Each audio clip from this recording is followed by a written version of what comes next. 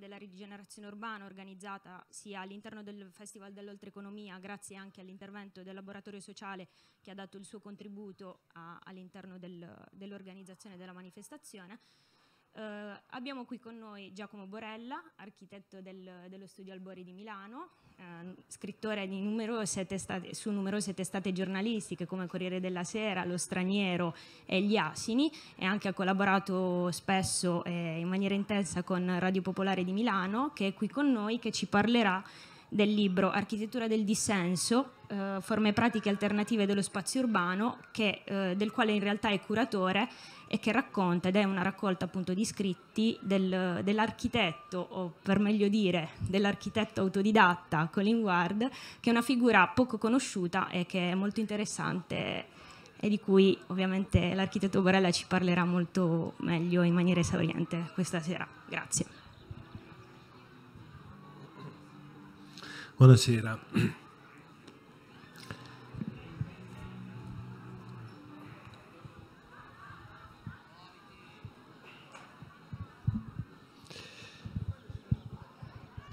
Allora, ehm,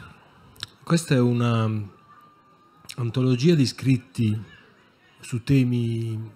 di architettura, di città e di urbanistica di Colin Ward. Eh, che è considerato da molti una delle figure più importanti del pensiero anarchico eh, del nostro tempo. Eh, Colin Ward era nato nel 1924 in Inghilterra ed è morto nel, nel 2010.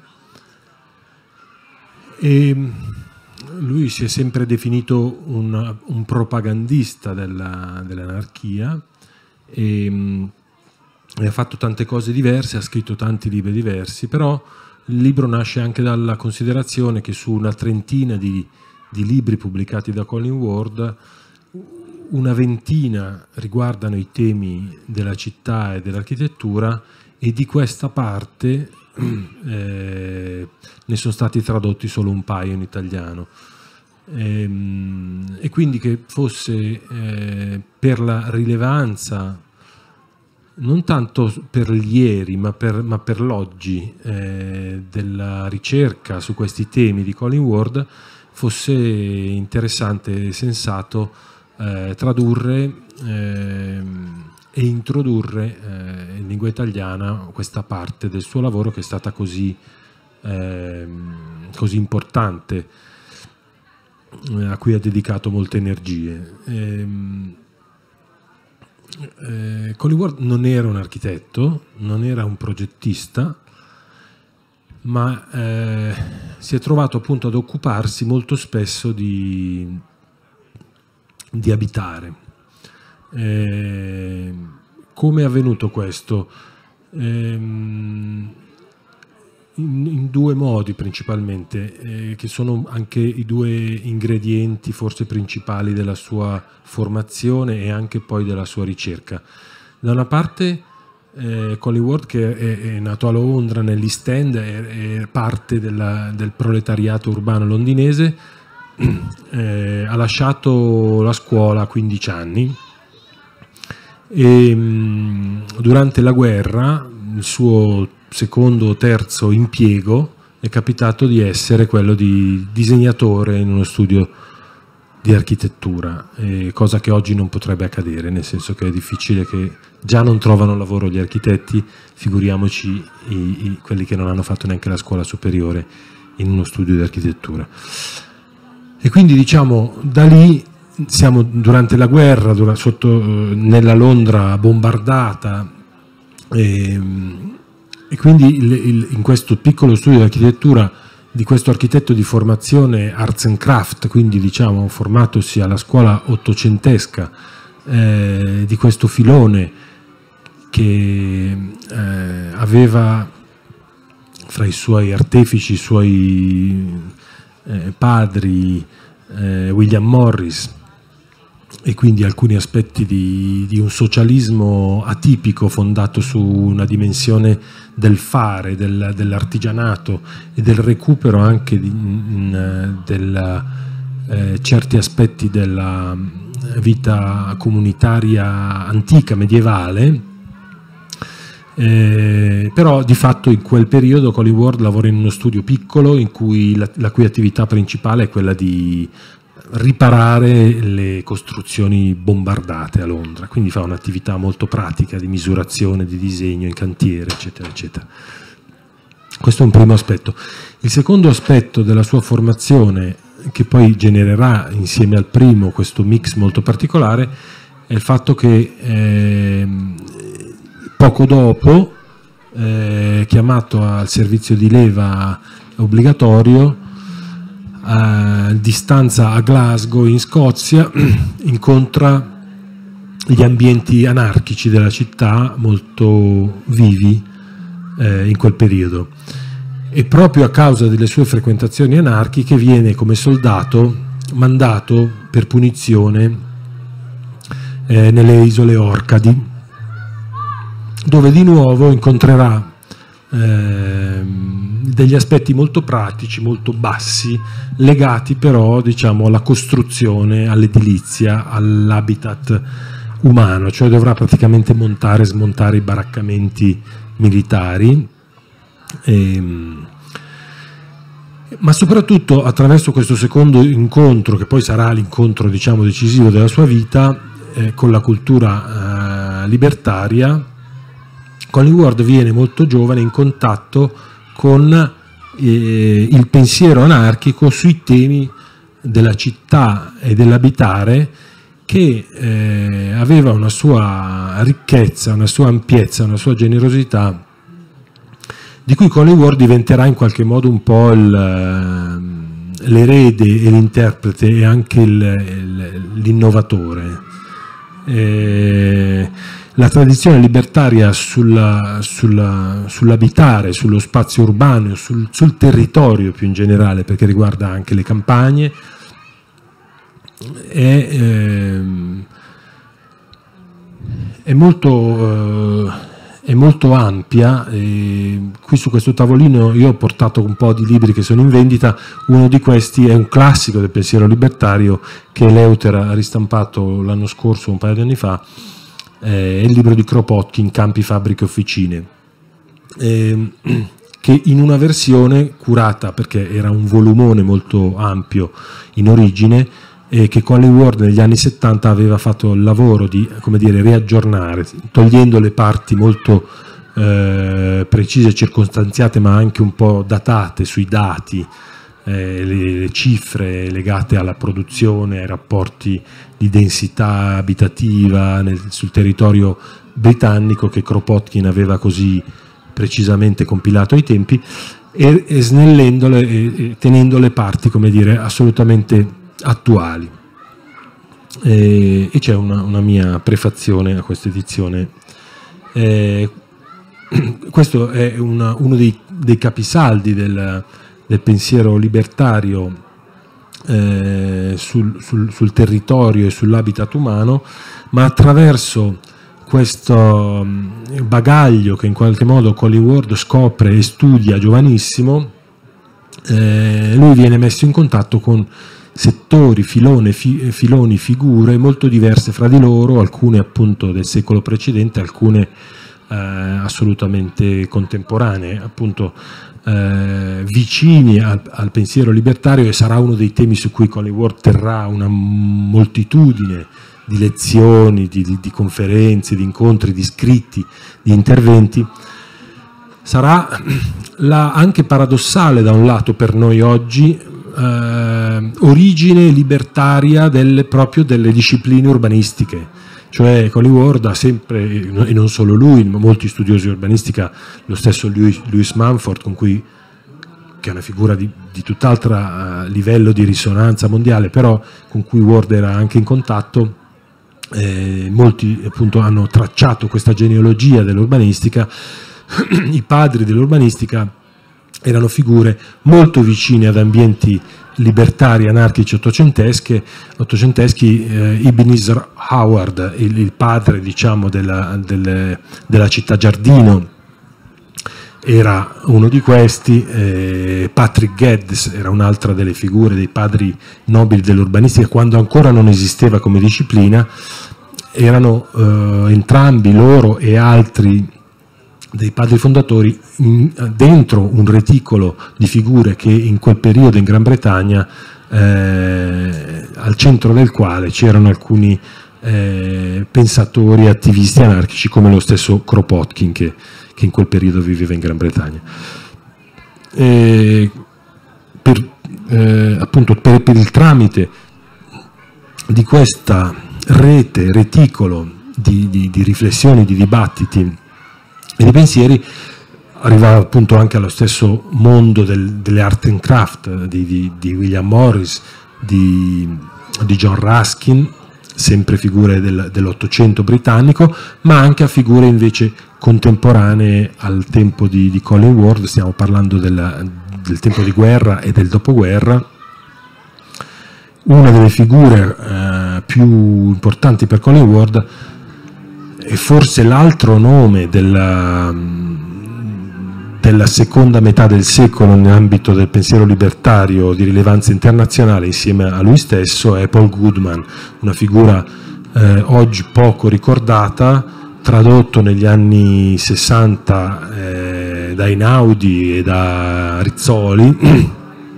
il suo testo forse più noto in Italia ai tempi, fatto pubblicare da Norberto Bobbio per Inaudi, era Gioventù Assurda. Ehm, anche lui figura di anarchico abbastanza tipico, altrettanto come dire capace di aperture fuori dalla, dall'orizzonte ristretto in qualche modo della cerchia anarchica e anche lui, meno di Ward, ma anche lui eh, capace di occuparsi di una molteplicità di temi, fra cui in molte occasioni eh, l'abitare umano, eh, l'habitat, l'urbanistica e la città.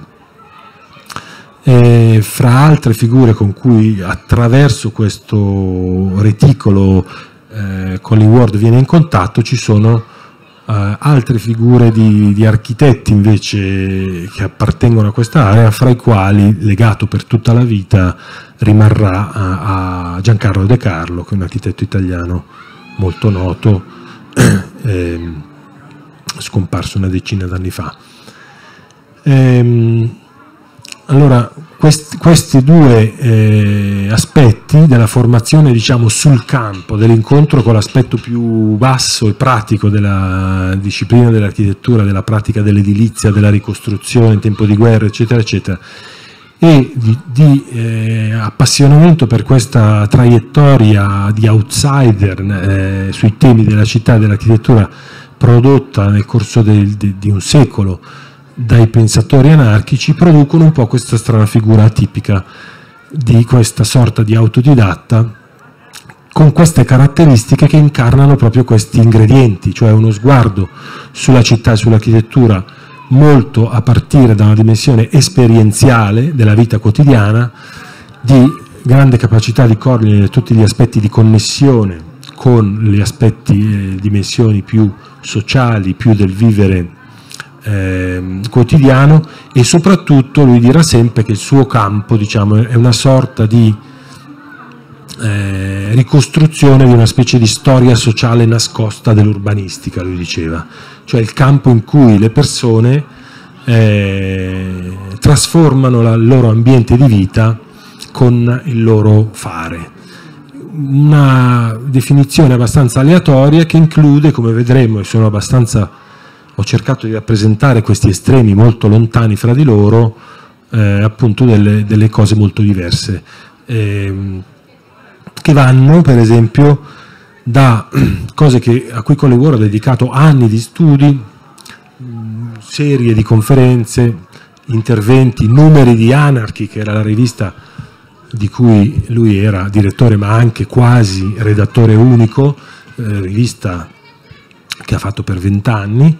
ehm, e che godeva anche di una certa risonanza per i piccolissimi numeri con, il, con la quale era fatta anche oltreoceano oltre negli Stati Uniti. Ehm, e questi temi che dicevo così disparati, in questa accezione così larga diciamo, della eh, dei casi in cui gli esseri umani eh, hanno un rapporto non passivo con il proprio ambiente fisico eh, dove abitano, andavano per lui da eh, la, lo studio di, che ne so, le, eh, i pionieri del campeggio, eh, cioè quando si, si, furono i primi tempi delle vacanze di massa, in cui gli operai cominciarono a non lavorare il sabato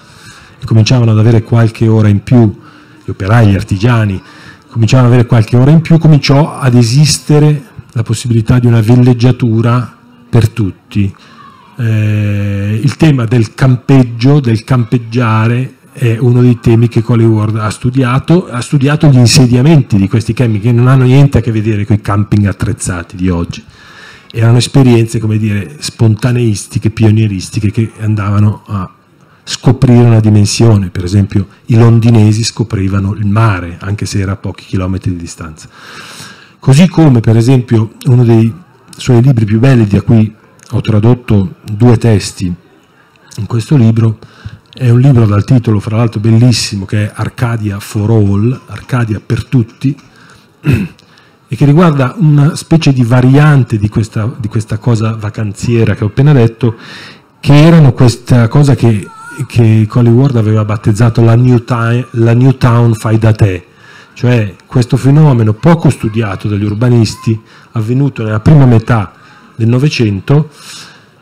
in cui nella, nelle coste del sud-est dell'Inghilterra si era venuta a formare per un intreccio di ragioni legate appunto a questo che dicevo, gli albori diciamo, de, di un micro tempo libero delle classi basse o bassissime. Eh, una crisi verticale della, del valore dei terreni agricoli, eh, Ehm, più tardi i bombardamenti di Londra e quindi la necessità delle persone di sfollare in qualche zona non bombardata,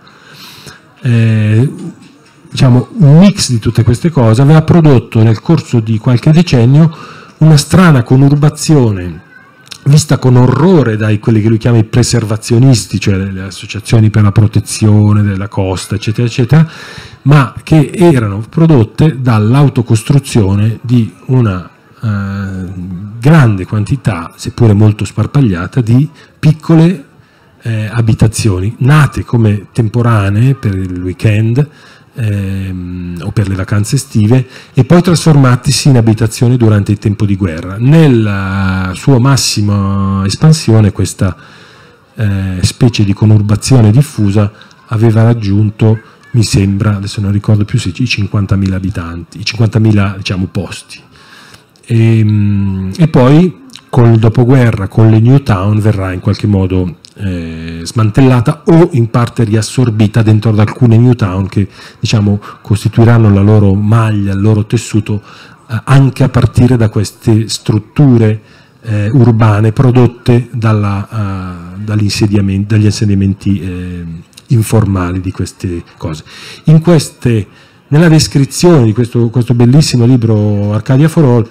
eh, Colin Ward racconta un'epopea di questo mondo, di, quest- di, come, ehm, di, come, questi manufatti venissero costruiti e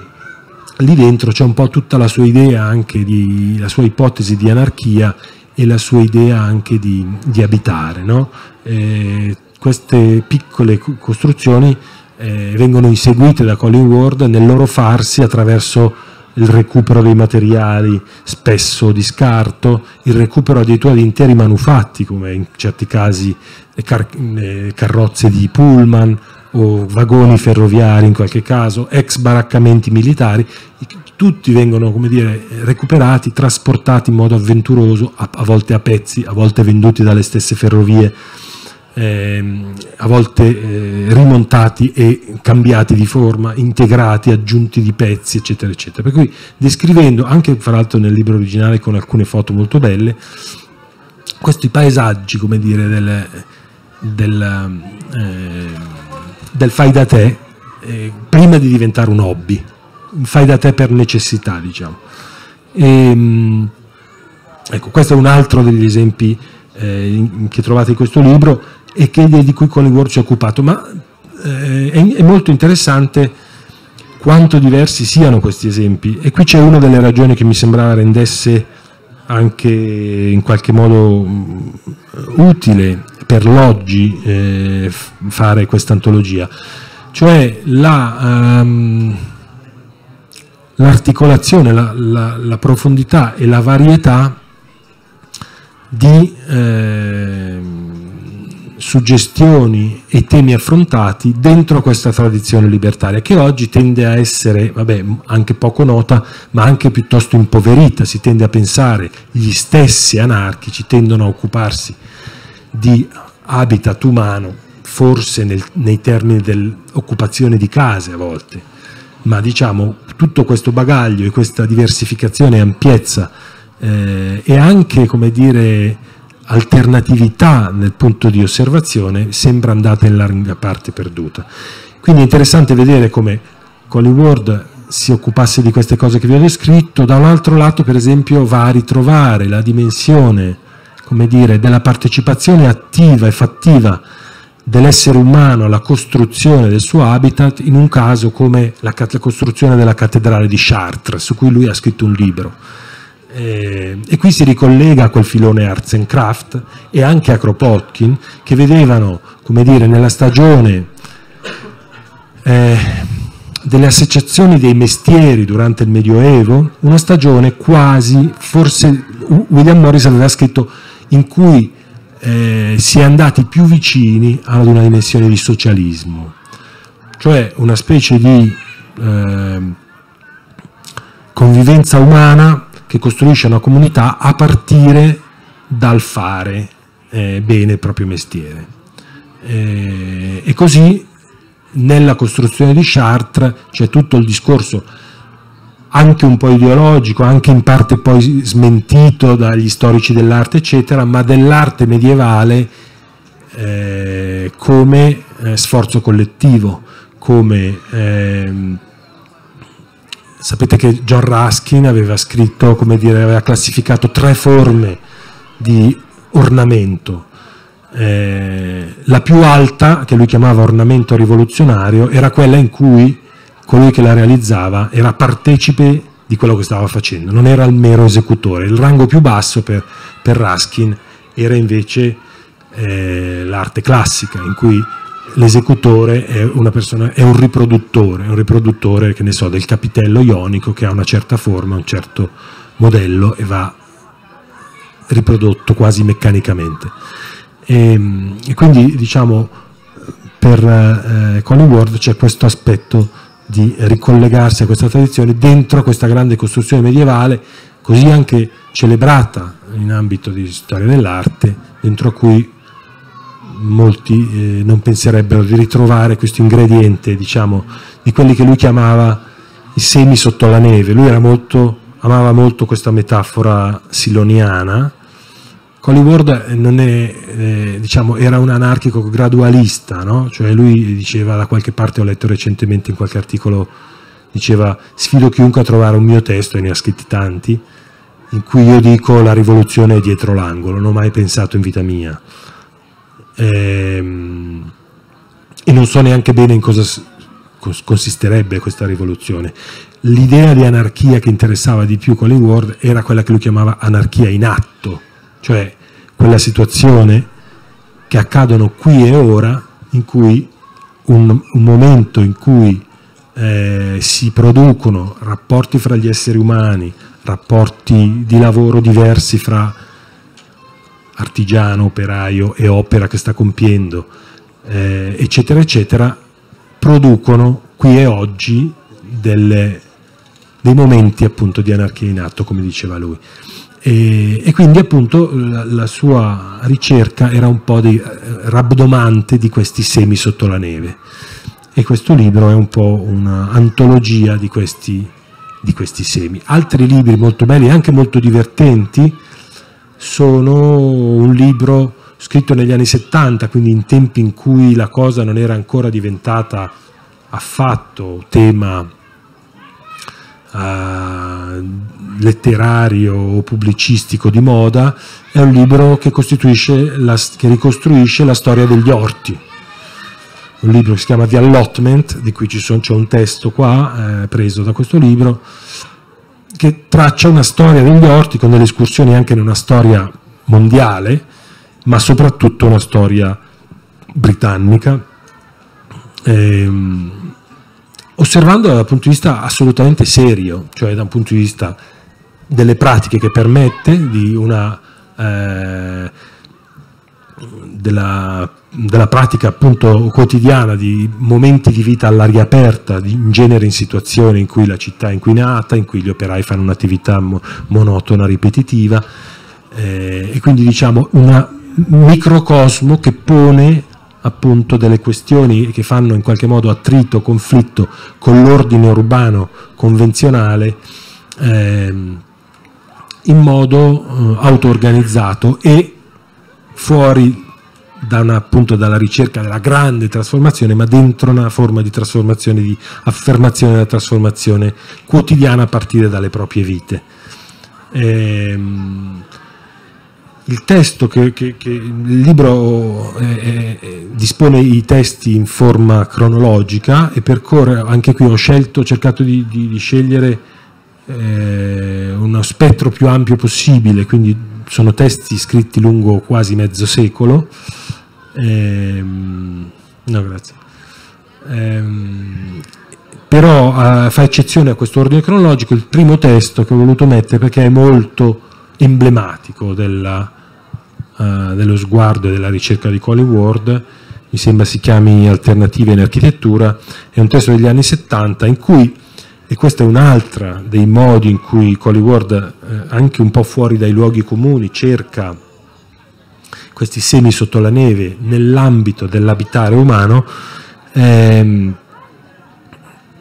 fa una specie di inventario di architetti alternativi e, ehm, e mette insieme un elenco di figure e di progettisti che ancora oggi per me è eh, consigliabile per esempio a, studente, a un giovane studente di architettura. Sono figure che ancora oggi costituiscono eh, atteggiamenti, casi di, di, atteggiamenti diciamo di outsider. Ehm, in più di un caso sono oh, architetti o ricerche, per esempio, che eh, anticipavano già negli anni 70 ricerche attorno ai temi dell'energia, delle energie alternative, delle, delle, delle tecniche di costruzione alternative ehm, e in quello è un altro dei campi in cui Ward dimostra che a partire dalla sua dire, eh, cultura autocostruita stava precorrendo di molto, di molti anni, di molti decenni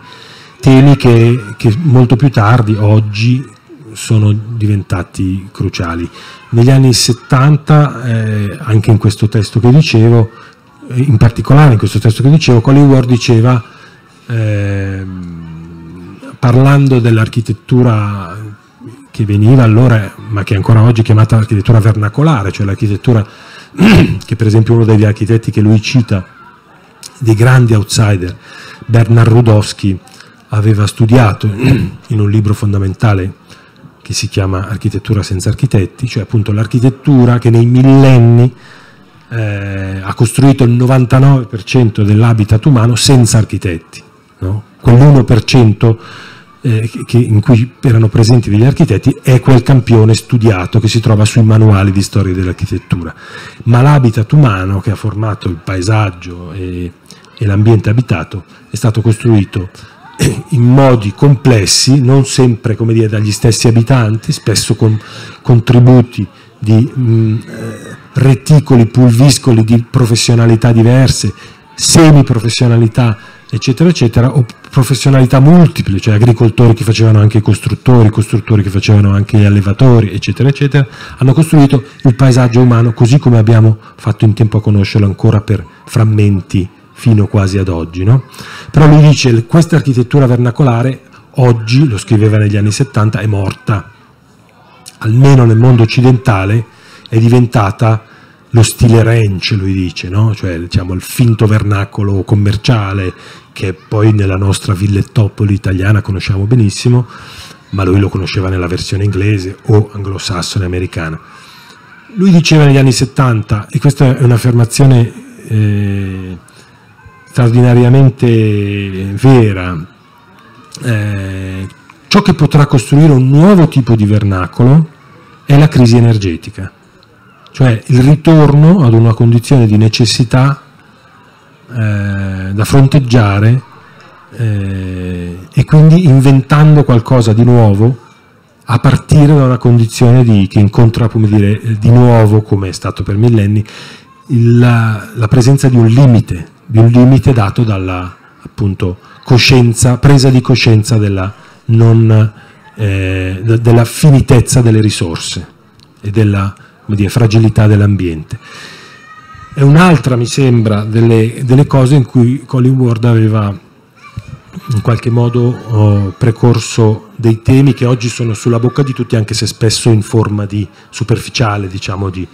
di, di greenwashing, ecco, più che di trasformazione eh, profonda delle,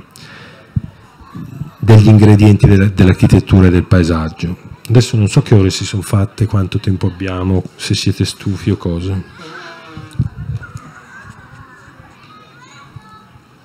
Eh, che ore sono? Andiamo avanti ancora un po'? Sì, se qualcuno mi vuole interrompere con delle domande. Eh, dico un'ultima cosa. Mm, nella mia introduzione dico che eh, la, la, la, lettura di, di, tutti questi testi di Colin Ward, perché poi io spero che a chi capita e chi è interessato, chi rimane interessato da questo libro, poi vada a leggersi i testi da cui sono tratti i singoli saggi, sono tratti da una, mi sembra 10-12 libri diversi. Ciò che emerge rileggendo oggi questi testi di Colin Ward su tutti questi temi molto disparati, ehm, messo insieme al, agli sguardi e ai discorsi di, di, alcune di quelle figure che lui seleziona e, e interpreta e, e cita, eh, vanno a costituire, mi sembra, un discorso alternativo sull'architettura, anche sulla sua modalità della sua storicizzazione e della sua critica, che fanno sembrare molta della storia e della critica dell'architettura che si fa oggi molto vecchia. E, mettendo insieme lo sguardo di Colin Ward, quello di Louis Mumford, a cui lui spesso si rifà, eh, quello di Bernard Rudowski a cui mi riferivo prima, o quello per esempio di un straordinario architetto egiziano, a quei tempi veramente sconosciuto ai più, che era San Fatih, che, che lavorava sui temi dell'architettura eh, energetica, climatica e meteorologica negli anni 50, eh, ecco, mettendo insieme le, le, gli sguardi di queste figure che, che lo stesso Word eh, antologizza, viene fuori un discorso che sembra eh, ancora tutto da, da, svolgere pienamente, ma che diciamo, fa sembrare la, la, la critica e la storia dell'architettura contemporanea ancora troppo legate a una dimensione come dire, di prevalenza del visivo, del compositivo, dello stilistico, rispetto a dei temi molto più, eh, più vivi e più, eh, e più, attuali e necessari. No? E quindi diciamo, eh, aggiungerei a questi nomi senz'altro quello di Ivan Illich che, che, che Colin Ward cita a più riprese eh, e che è un'altra figura eh, che si è occupato di tantissime cose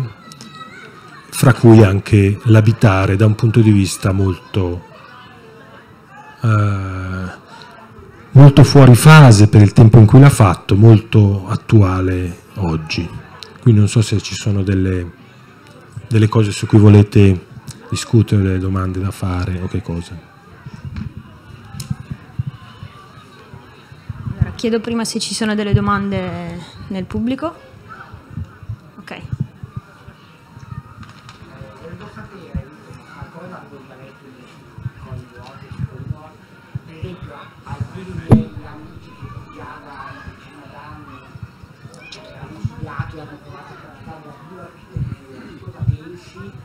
che si trarre appunto come sociologo facevo anche dei riferimenti a questo tema dell'habitat allargando non solo all'habitat sociologico appunto anche dei materiali dell'edilizia eh, cosa si può infatti recuperare di quell'esperienza di quelle sue eh, appunto intuizioni ed eventualmente se sono applicabili all'oggi questo tema della bioarchitettura? Ma, sa, la bioarchitettura eh, Collingwood parla spesso di esperienze legate a sperimentazioni tecniche costruttive alternative, legate ai temi dell'energia, eccetera, già, già, negli anni 60 così. Non parla mai di quella parola che è arrivata molto dopo e come spesso accade quando viene coniata una parola che poi diventa eh, diciamo un contenitore che viene un po' abusato spesso dai media, eccetera, eccetera, diventa anche qualcosa di più aleatorio e più dai, contini, dai confini più imprecisati. Oggi è tutto green, è tutto bio, anche no, la, i grandi centri commerciali, i grandi parcheggi automobilistici, eh, le automobili, è tutto green, è tutto bio. Quindi in qualche modo, eh, adesso questo non lo diceva Colin Ward, ma è una riflessione che faccio io, credo che il nostro compito oggi è verificare concretamente ehm,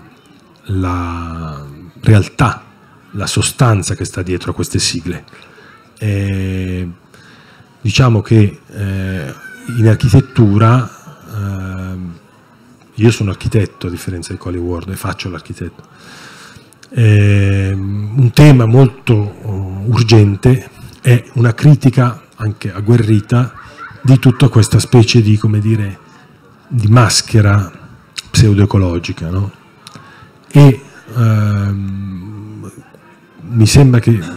da, da alcuni testi eh, di Colin Ward si possa raccogliere, io ritengo molto fertile, molto utile il suo invito a pensare il cambio di paradigma legato alla presa di coscienza ecologica dei limiti del pianeta, eccetera, come una eh, cosa che se presa sul serio eh, richiede una trasformazione radicale degli ingredienti. Eh, noi siamo circondati tendenzialmente dagli architetti che più green e bio sono e più in realtà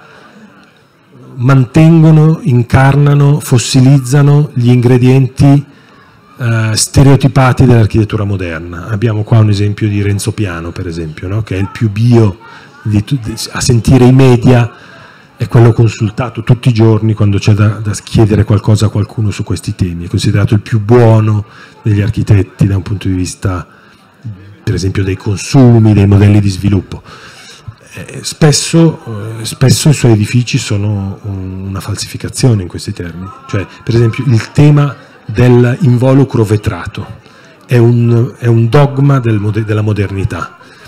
ed è l'incarnazione di un modello che salvo in condizioni particolari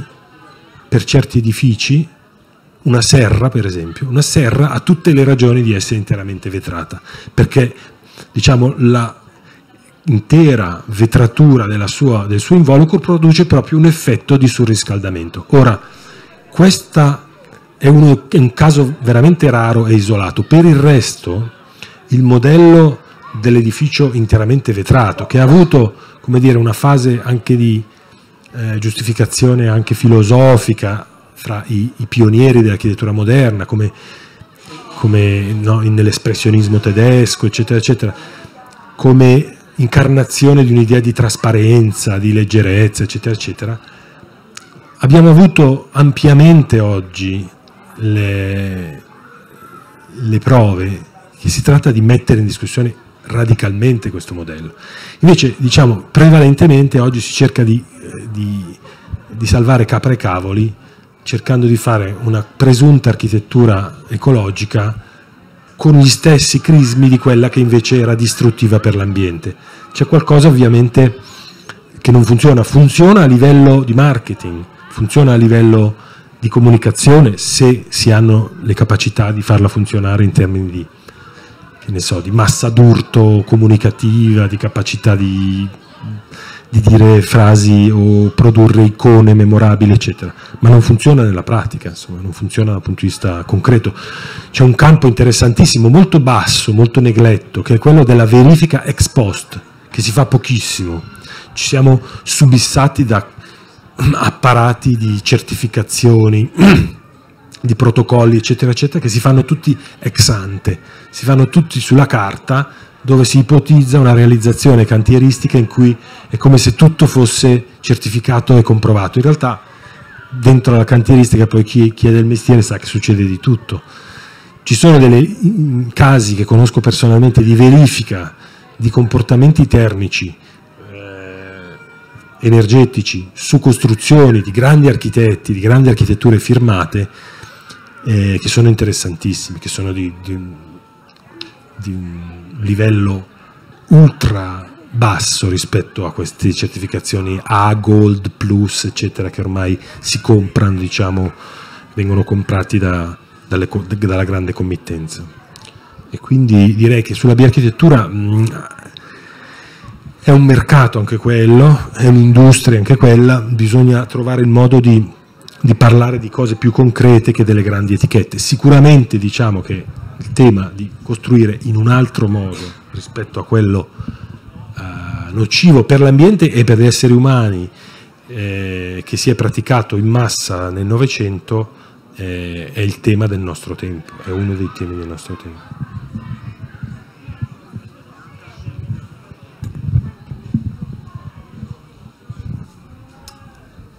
Sono Tullio Zampedri, falso architetto. E sentendomi, sentendoti mm, mi veniva in mente quanto manchi una rivista come Spazio Società, che era, per chi non, per chi non è del mestiere, una rivista edita da Giancarlo De Carlo, eh, di cui proprio a Rovereto abbiamo, fatto, abbiamo celebrato il decennale della morte due anni fa, e, e che Esatto, della quale Colin Ward era nel comitato esecutivo e di tutti i nomi che hai, che hai citato era, eh, comparivano regolarmente sulla rivista. Era una grande rivista, secondo me, anarchica, in questo senso, una grande rivista di, eh, di elaborazione intellettuale e di verifica poi del, dei risultati, perché mm, De Carlo non, non si tirava indietro dal, dall'analizzare poi se stesso, a parte che sulla sua rivista, si, a parte un progetto, non si è mai visto un suo, un suo lavoro appunto. Um, ma, però detto questo, ehm, una cosa secondo me che è interessante del pensiero anarchico eh, in ambito di, di, di, eh, di progettazione dell'architettura è proprio il fatto che probabilmente il pensiero anarchico ci porta, cioè porta, ha portato molti operatori, architetti, urbanisti, eccetera, a lavorare eh, eh, sul concreto, appunto quello che dicevi tu, eh, cose, a elaborare un pensiero sullo spazio fisico. Eh, una persona che non hai citato, che secondo me però va citata, è Reclus, un grande geografo da cui deriva forse tutta la geografia contemporanea, almeno quella geografia che non, non è limitata solamente allo spazio fisico in quanto tale, ma eh, è qualcosa di, di, un po' più articolato e complesso e che però eh, leggendo i suoi scritti mi viene in mente Storia di un ruscello, che descrive un ruscello scritto nell'Ottocento, credo, non so quando, però sì, eh, che scrive la storia del ruscello da, da, dalla foce fino al, fino al, mare e scrive parlando anche lì di inquinamento industriale ancora in, tempi di rivoluzione industriale, quindi, e quindi questa grande attenzione alle, alle, alle, cose pratiche della vita, eh, che, ha il, che, ha dato il, il mm, ha dato un contributo importante al, al, al tipo di analisi sul, sul territorio. e, ehm, e anche a, a, a diciamo a, um, è stato capofila di tutto quel pensiero ecologista, non dimentichiamoci di pensatori come Murray Bookchin o, o, altri, o anche eh, pensatori tipo, eh, che so, mm, ovviamente Segal eh, o altri che, che, hanno fatto del, del, ehm, degli appunti appunto sulla tecnica, mi è piaciuto moltissimo l'intervento che hai fatto adesso correggendo un po' in parte questo discorso sulla, sull'edilizia eh, sulla bioedilizia io mi occupo di questo, mi occupo di bioclimatica, più che altro insegno bioclimatica. Eh, e, e, ehm, tra l'altro mi è piaciuto anche molto il discorso che hai fatto sull'attenzione che, ehm, ehm, che il nostro autore ha posto sul, sul, sull'architettura vernacolare. Io non la chiamerei già più architettura vernacolare perché eh, la chiamerei forse tradizionale, non, non so esattamente, o sinergica, eh, nel senso di sinergica nel senso di attenzione alla fisicità del luogo. Eh, se noi ci spostiamo qui a Trento o se ci spostiamo di 10 km, anzi no, se facciamo un edificio qui, lo facciamo 10 metri là, cambia completamente l'approccio al territorio anche se il modello è lo stesso. E torniamo su anche e su questo si, si, potrebbe introdurre anche tutto il discorso di, uh, di modello e di tipo che faceva che, che negli anni 80 uh, ha permeato la cultura architettonica uh, tradizionale e a cui ad esempio De Carlo era, era fermamente avverso no? perché il tipo per lui giustamente era, uno, era una stereotipizzazione no? e quindi una, una, banalizzazione del contesto, una banalizzazione non solamente dell'ambiente ma anche del progetto eh, e del, della costruzione e, e, e, non veniva dato quel giusto risalto a quello che appunto ritornando a Reclu, a Reclu erano tutti i, i luoghi e i microluoghi che, che costruiscono il, l'abitare e che poi danno origine anche a tutta la, la ricchezza poi compositiva che, che, troviamo nel mondo alla fine dei, dei conti. Eh, piccolo. Sì, eh, sì, questo tema della concretezza che, che, è un po' uno degli apporti che questo filone libertario ha, ha dato eh, quella mi sembra una delle cose, ehm, una, cosa, una delle cose importanti di Colin Ward e di questo modo di, di parlare e di guardare l'architettura e la città, cioè è, uh, soprattutto oggi, nel senso che è, c'è sempre uh, un atteggiamento che testimonia di una... Um, modo di prendere sul serio i luoghi. Nella, eh, nel tempo della massima astrazione, no? nel tempo della delocalizzazione, della deterritorializzazione e eh, della virtualizzazione, è particolarmente dire, utile ognuno dei tentativi di molti di questi nomi che abbiamo fatto di invece prendere sul serio i luoghi. E, ehm, è anche una dei, delle ragioni per cui è un po' difficile tradurre Colin Ward, perché già in questo libro la, la pazienza del lettore viene a volte messa un po' a dura prova perché lui parla spessissimo di luoghi specifici in un, in un tempo specifico, cioè lui prende molto sul serio i suoi luoghi e i suoi tempi. È la stessa ragione per cui è molto difficile tradurre anche Paul Goodman, eh, perché eh, ci sono, bisogna eh, fare un gran lavoro per isolare delle parti che non contengano dei riferimenti che a una persona che non sa esattamente in quale momento è stato prodotto quel testo, a volte ci sono dei cognomi, dei luoghi, dei, dei, dei fatti che sfuggono del tutto. No? Però è un modo che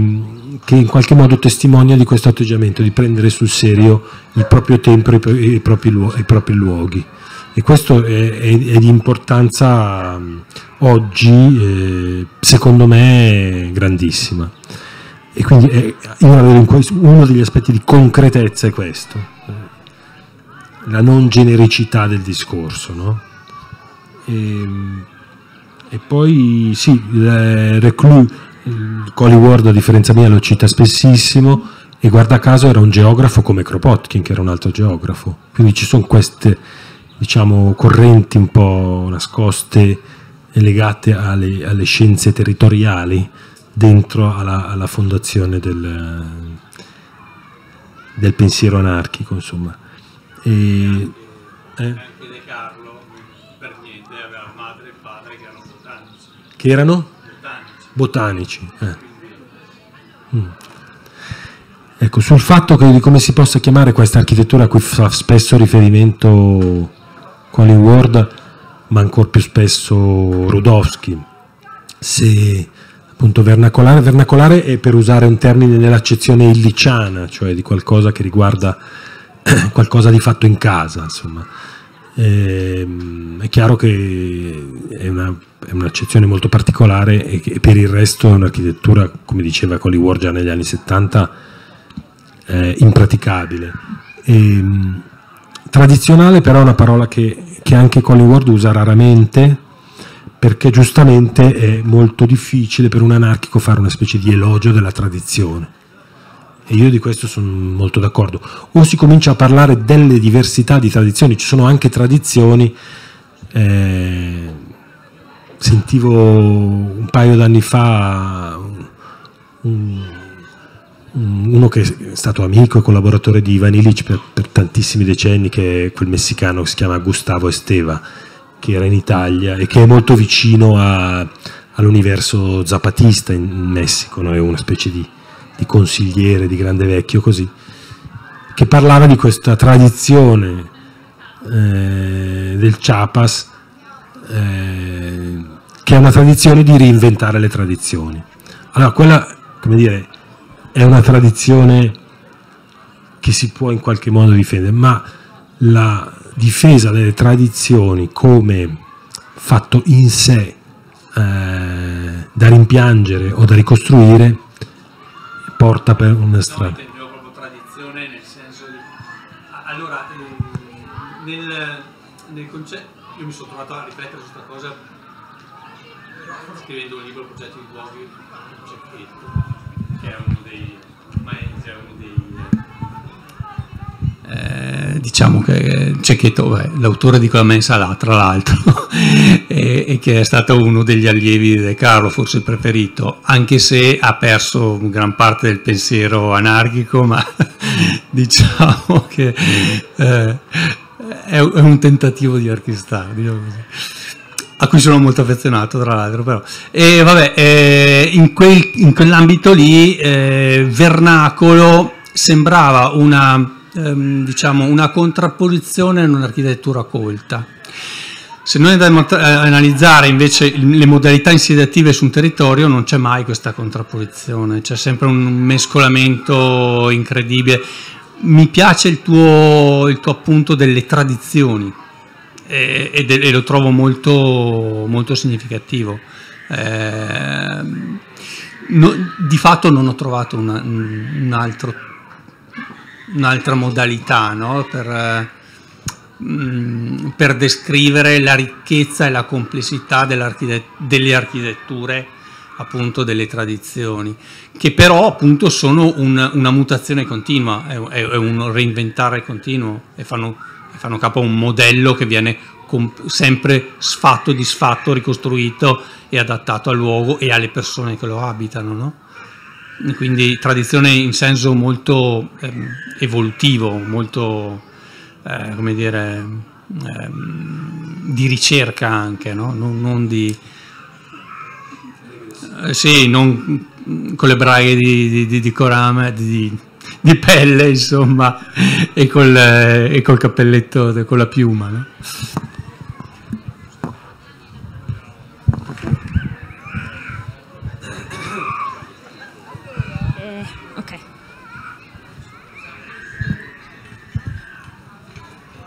Volevo fare una domanda in riferimento a, anche quello che si era detto prima nel tavolo di discussione, che c'è stato quella persona che ha fatto quel riepilogo molto sintetico sulla storia dell'urbanistica parlando del ruolo degli architetti come strumento del, di un sistema neoliberale. E, e, questo è riferimento anche alla morte del, dell'architettura vernacolare nella nostra società, secondo Ward, e che quindi presuppone che ogni architettura e ogni edificio debba avere un progettista tecnico, un tecnico. E quindi volevo chiedere mh, qual è l'idea di Ward su questo progettista e qual è il suo ruolo nella società.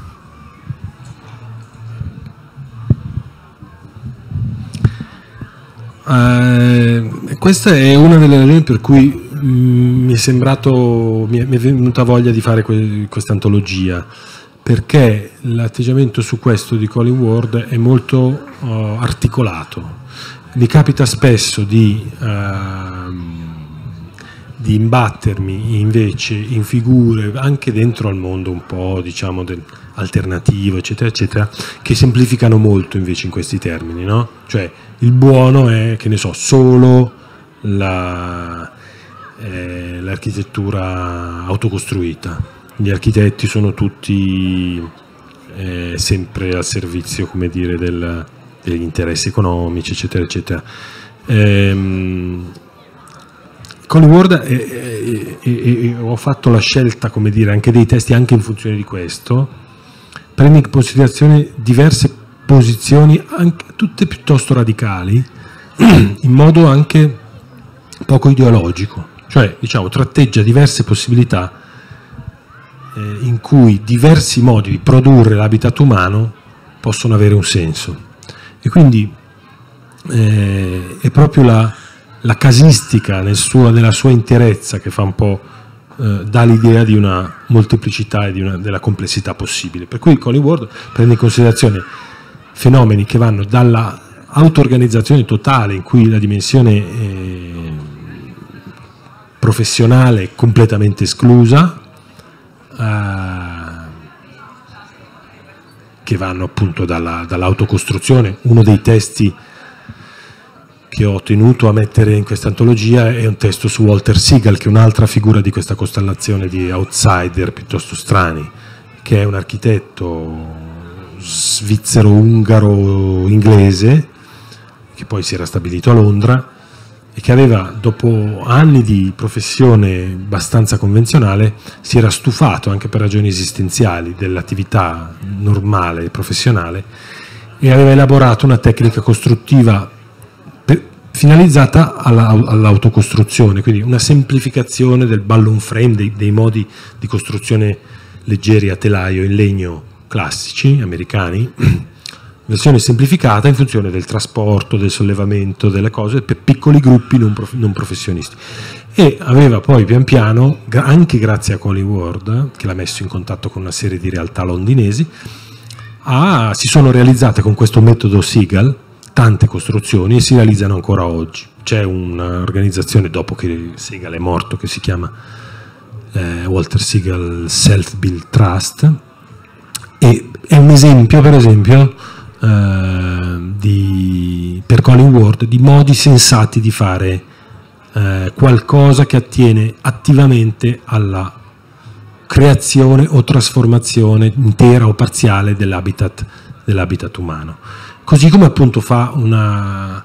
grande lavorio ed è una delle parti in cui lui ha sempre dedicato molta energia di tessere questa specie di rete, di questa specie di controstoria dell'architettura anche contemporanea, per cui lui aveva tutta una serie di riferimenti, spesso come dire la controcultura mm, corre il rischio di eh, perdere di vista tutti come, i punti di riferimento, cioè di navigare in questo. Spesso l'architettura, non so, in paglia, eh, con tecniche anche interessantissime, si muove in una specie di immaginario un po' da puffi, un po' da mulino bianco, un po', no? Cioè come se mancasse qualche esperienza di approfondimento un po' radicale. Ecco, Word in questo senso è una miniera di, di riferimenti, in qualche caso magari un po' datati, ma spesso molto utili. E, che ne so, lui, è difficile che gli non avesse sotto mano o realtà da un punto di vista sociale, di auto-organizzazione, cooperative in Inghilterra, gruppi di autocostruzione, eccetera, eccetera, o anche di progettisti, architetti outsider a livello internazionale, per cui da Lucien Kroll in Belgio, un altro del Giro di De Carlo, a Sanfatia, a Charles Correa in India, a um, una moltitudine insomma, di figure che, che, lui andava come dire, eh, spesso anche a conoscere, a incontrare, a approfondire e a diffondere. Per cui questa anche sua uh, mentalità un po' da propagandista, lui orgogliosamente si è sempre definito, non si definiva un intellettuale, non aveva studiato, eccetera, era un propagandista, però era un propagandista sorprendentemente aperto anche ideologicamente eh, a ciò che stava fuori dai confini del suo, anche della sua cultura di riferimento. No? È, straordinario quanto Ward continua ad alimentare un dialogo da anarchico propagandista ultra convinto con figure che stanno fuori dal mondo dell'anarchia. E quindi anche rispetto alla professione lui è molto laico eh, e dice spesso, come dire, ci sono un'infinità di modi di fare qualcosa di sensato, ci sono anche un'infinità di modi di fare qualcosa di insensato.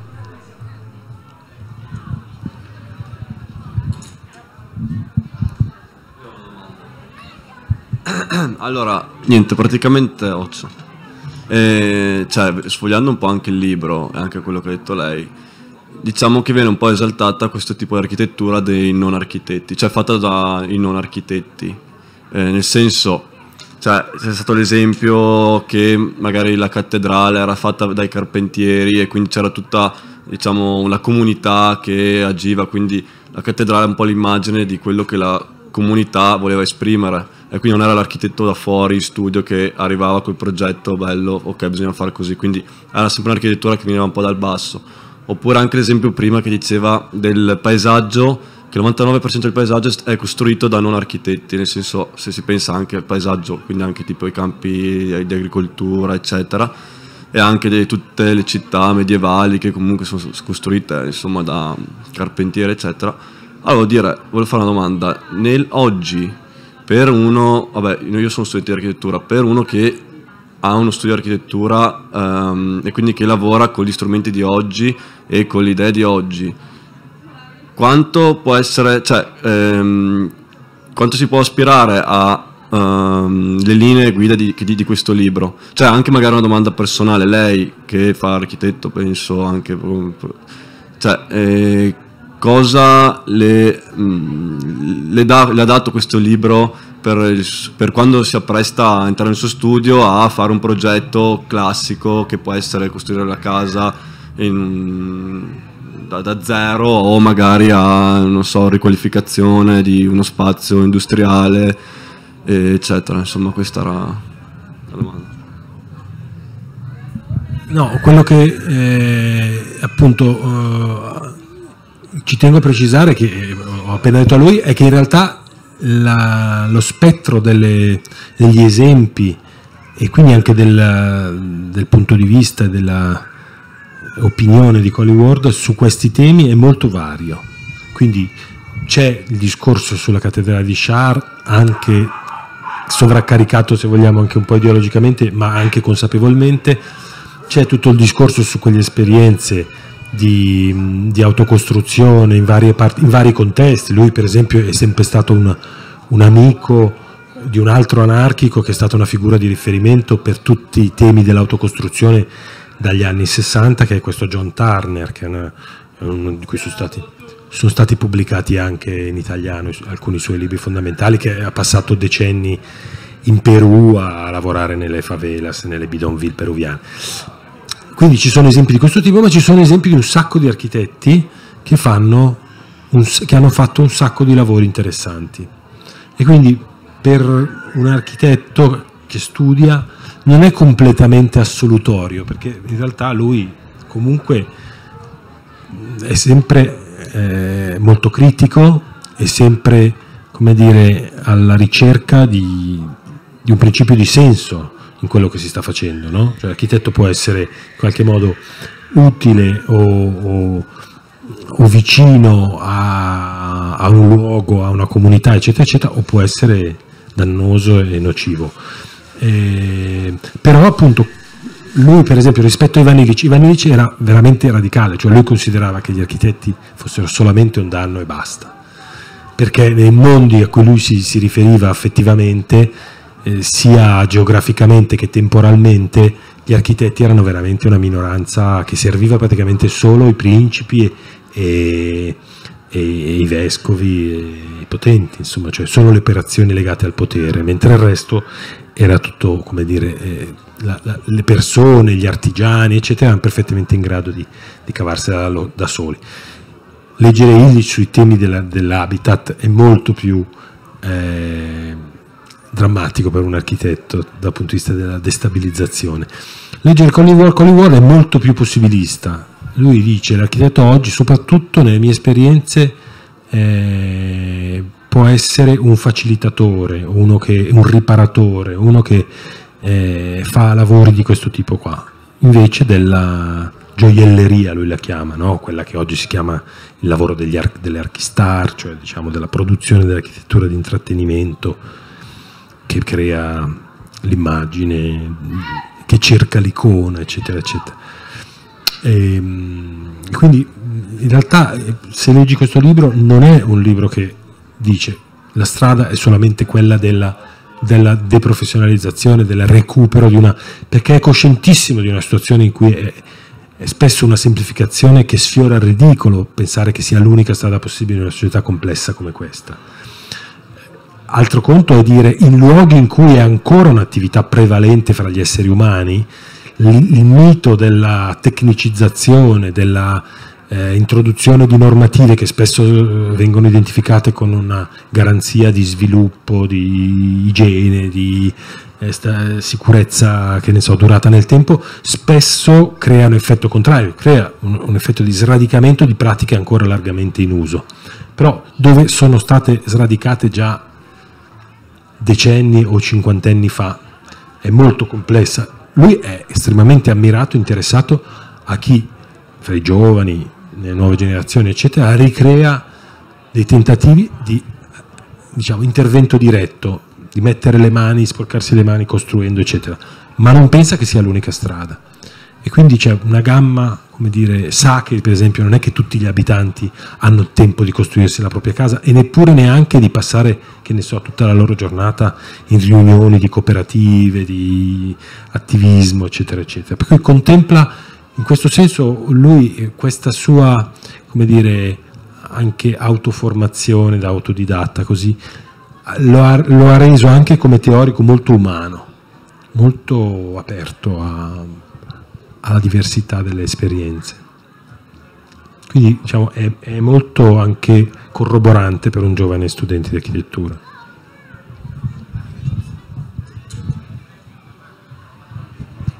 Se non ci sono altre domande ne faccio io una. allora, eh, visto che è stato citato più volte eh, Ivan Illich, quanto la convivialità, che è un suo famoso testo, ha influenzato Colin Ward e quanto la convivialità possa essere strumento anche tuttora, tutt'oggi, nei processi di rigenerazione urbana.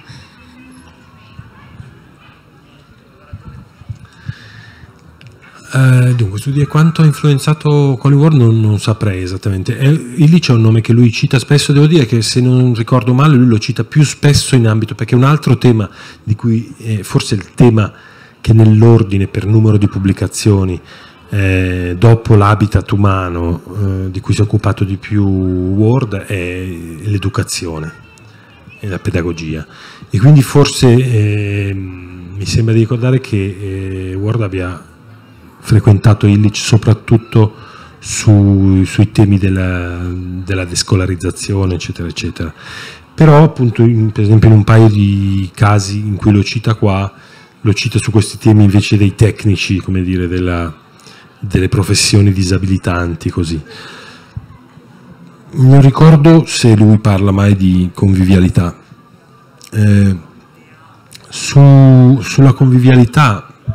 di Illich nell'oggi, anche sui temi dell'abitare, della città, eccetera, vale un po' lo stesso discorso secondo me che, sulla, che ho detto prima sulla bioarchitettura, sulla bioedilizia. Lo stesso Illich parlava delle parole ameba, cioè quelle parole lui aveva anche preso da un suo amico linguista il significato scientifico di questa che aveva coniato questa definizione di parole ameba, che diceva le parole che assumono più di 25 significati diversi diventano, sono classificate parole ameba, secondo lui. Convivialità è diventata ampiamente una parola ameba, la può usare Italy, Farinetti, come si chiama, eh, una azienda che fa un rinfresco per, per, per so, aziendale, eh, un assessore che fa una, una fiera del, del, prosciutto, così, come dire, è una parola che in sé vuole dire poco, secondo me. Eh, fra l'altro il titolo del libro di, di, di Ivan Illich era più bello della sua traduzione italiana, in italiano era tradotto solo la convivialità. Il titolo è Tools for Conviviality, cioè strumenti per la convivialità, attrezzi per la convivialità. E, ehm, e, e, infatti è molto incentrato sull'uso degli strumenti, sulla, sul tipo degli strumenti, su quel discorso che lui poi ha, fa, ha, fatto e ha portato a un livello di sofisticazione meravigliosa, su, su, sulle implicazioni che uno strumento si porta dietro a livello politico, a livello energetico, a livello dei rapporti interpersonali, dei, dei, dei, rapporti di lavoro, eccetera, eccetera. No, un discorso che poi ha fatto per esempio sull'energia e equità, sulla bicicletta e che si collega a un campo straordinariamente interessante, oggi molto trascurato, che era diventato molto di moda negli anni 70, che è quello delle tecnologie intermedie, della misura nella tecnologia, che era quello di Schumacher, di Piccolo e Bello, no? che era stato un best seller e, ehm,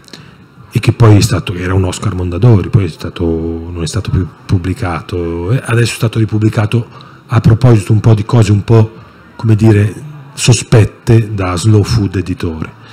Ehm, tema, questo tema del, era molto vicino in quel periodo a Schumacher, Ivanilic, cioè questo tema della uh, misura, la proporzionalità nelle tecniche. Ci sono tecniche, ci sono strumenti, ci sono motori che passano quella certa soglia e cominciano a produrre l'effetto opposto a quello desiderato.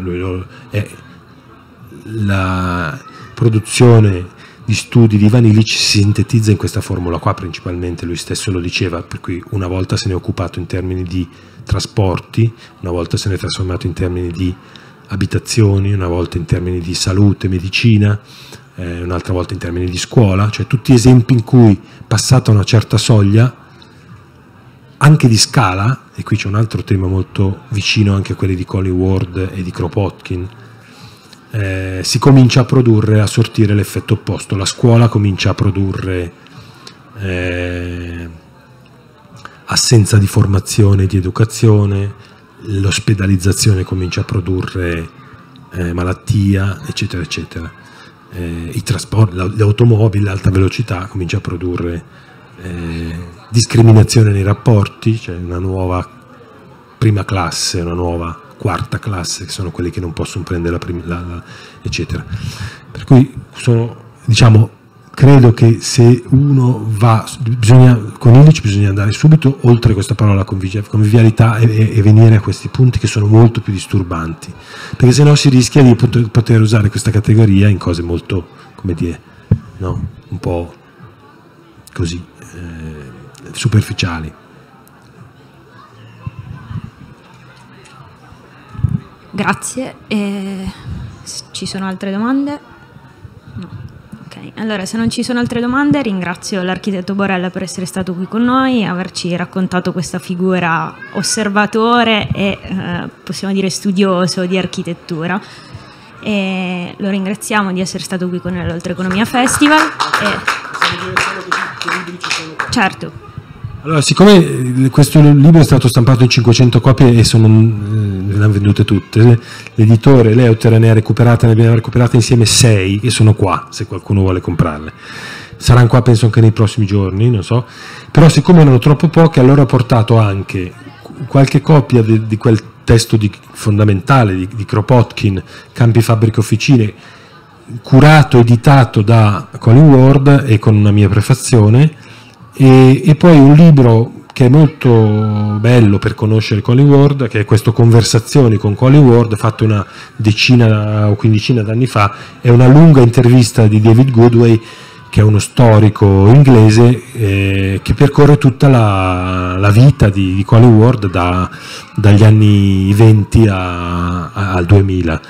E infine ci sono due copie di un librettino che ho scritto io che si chiama più specificamente sui temi dell'architettura che si chiama Per un'architettura terrestre, eh, in cui si parla anche di tutte queste cose. Grazie.